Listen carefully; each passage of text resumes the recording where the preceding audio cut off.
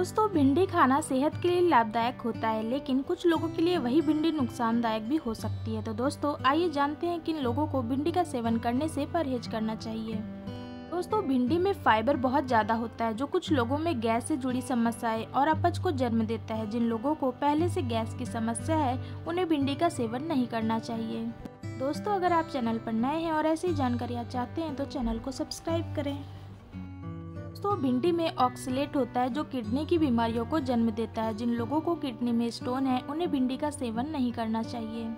भिंडी को बहुत ज़्यादा तेल व मसाले में भूनकर खाने से कोलेस्ट्रॉल लेवल बढ़ सकता है, जो दिल के लिए भी नुकसानदायक होता है। जिन लोगों में बढ़े हुए कोलेस्ट्रॉल की समस्या है, उन्हें भिंडी नहीं खानी चाहिए।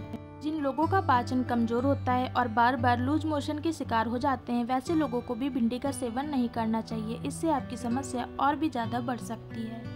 तो भिंडी में पोटेशियम की मात्रा अधिक होती है, जो हाई ब्लड प्रेशर वालों के लिए नुकसानदायक हो सकता है। हाई ब्लड प्रेशर की समस्या है तो इसका सेवन ना करें। पित्तशाई की थैली में जिन लोगों को स्टोन की समस्या है या फिर उसका ऑपरेशन हुआ है, वैसे लोगों को भी भिंडी का सेवन नहीं करना चाहिए। इससे आपकी समस्या और भी ज़्यादा बढ़ सकती है। प्रेग्नेंट और ब्रेस्ट फीडिंग कराने वाली महिलाओं को भी भिंडी का सेवन नहीं करना चाहिए। डॉक्टर की सलाह लेने के बाद ही आप इसका सेवन करें।